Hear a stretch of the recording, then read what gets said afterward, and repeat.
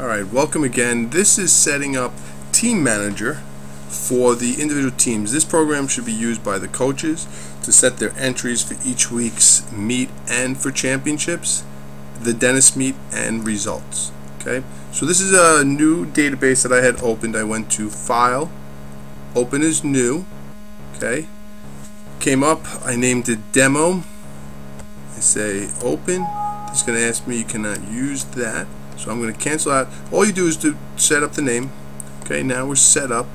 I go to Setup, Preferences, and I click on System Preferences.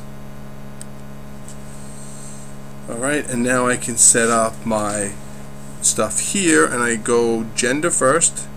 Men and women, boys, girls, whatever one you want to do. Male, female probably is your best bet show ages, show birth dates, show school uh, school year. I don't know so much you need that. Last name first, yes. Show only faster time, not necessarily. Use relay leadoff splits, no. Use state, use province, can leave that. Uh, backup every seven days. Default registration. Alright, so we're going to go USS. Okay. We're to go default team type is an age group default country. We are USA okay. Default long short course like this one we're going to scroll down here to the unknown. Alright default state we'll say PA we go default city. Um, be honest with you I don't concern you. I'm putting Dingman's because um, that's where I'm at. You can put Milford Shohola whatever one you want. Then I put the zip code. Two six. The meet start date, uh, meet age update. So I would do July 4th. Okay, and I click that button. That's on meet age up. I set it here also to July 4th. Alright. Um, that's my age up, okay. Your age for specific meet from the meets from or from specific form. Age up athletes to system age up Day of July 4th. Yes, and then I say, okay. Now I'm good. I come to athletes. Alright, you must add at least one athlete. So I'm going to go to. Next thing we do is we'll go to teams. We'll click there. You'll see there's no teams in here we're going to add a team alright and then you do whatever team you would like to do. In this case I will do uh, Lake Adventure right abbreviation AL full team name okay. We'll add that in there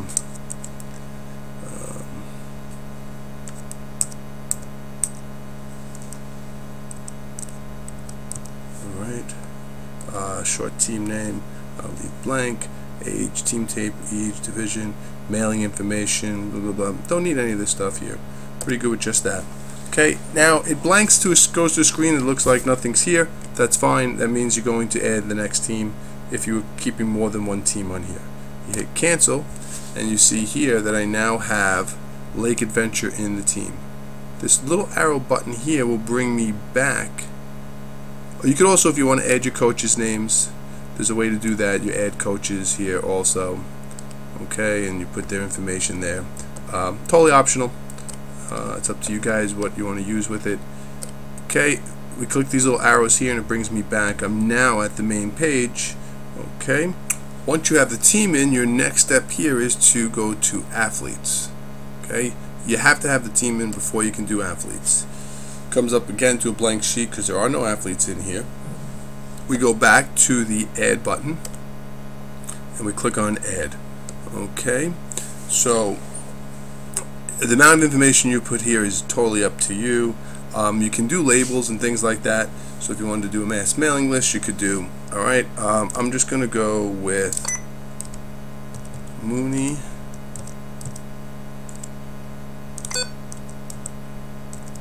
Dennis. Okay, no middle, no preferred. Birth date will be 07 12.